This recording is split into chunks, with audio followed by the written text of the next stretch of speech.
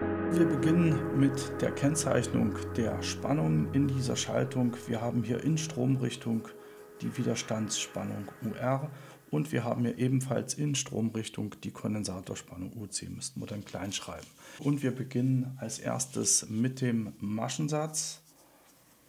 Und der Maschensatz für diese Schaltung ist entsprechend mit den gekennzeichneten Spannungen UQ ist gleich UR plus UC. So, das soll unsere Gleichung 1 sein. So mit dem Ohmschen Gesetz und unsere Gleichung 1 wird daraus jetzt UQ ist gleich R mal I plus UC. Ja, jetzt muss man noch unsere Gleichung 1, die kommt jetzt hier erst rein. Dann steht hier UQ ist gleich R mal C duc nach dt plus uc. So, jetzt rechnen wir hier minus uc, das ist unsere Gleichung 3. Dann steht hier uq minus uc ist gleich r mal c duc nach dt.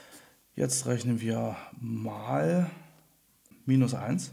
Wir tauschen also nur die Vorzeichen auf dieser Seite kommt hier dann plus UC minus UQ und hier steht minus R mal C DUC nach dt.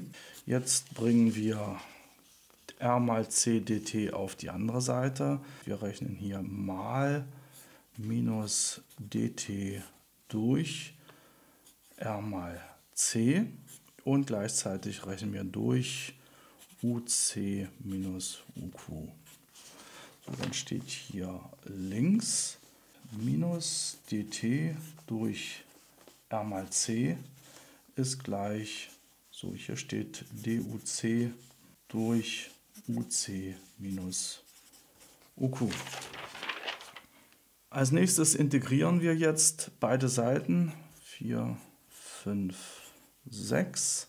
Das läuft darauf hinaus, dass hier das Integral dt ist dann natürlich t durch r mal c. Und das ist gleich, jetzt aufgepasst, das ist 1 durch uc minus uq.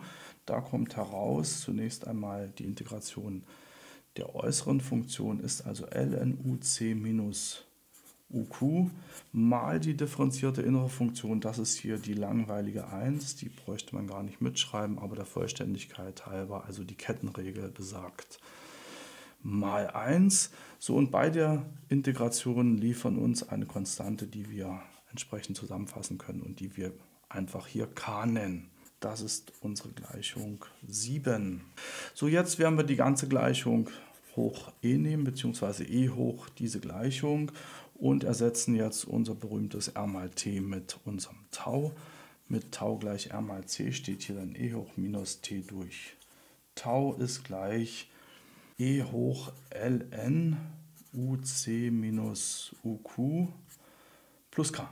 So, hier können wir gleich die Regeln für den Exponenten ansetzen. Das heißt, wir zerlegen diese Rechnung wie folgt. Wir sagen e hoch ln uc minus uq ist gleich e hoch ln uc minus uq mal e hoch k. Das soll unsere Gleichung 8 sein. Und als nächstes schauen wir uns an, was passiert mit diesem Ausdruck. E hoch minus t durch Tau bleibt natürlich stehen.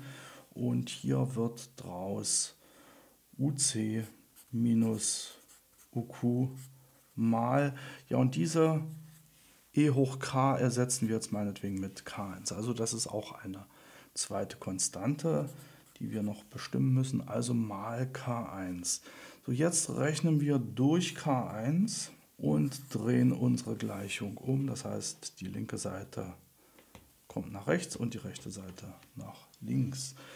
Dann steht hier folgendes, UC minus UQ ist gleich 1 durch K1 e hoch minus t durch Tau. So, jetzt rechnen wir plus UQ und jetzt ersetzen wir noch unser 1 durch K1. Das ist minus Delta U.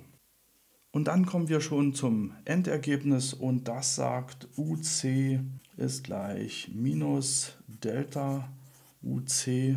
Ja, das ist hier diese Substitution E hoch minus T durch Tau plus UQ. Das soll unsere Gleichung 10 sein und damit sind wir fertig. Wir sind also haben hier die Lösung vollständig ermittelt.